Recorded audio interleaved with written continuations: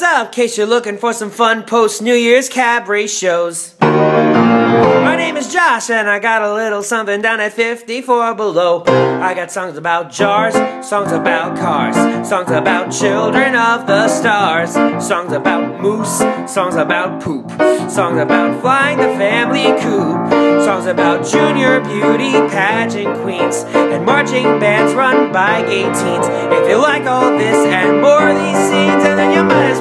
and go. There might even be a song you know. So come on down, 54th and 8th Avenue. Come on down. All my friends will be there too. Come on down, 11:30 on a Wednesday night. Come on down.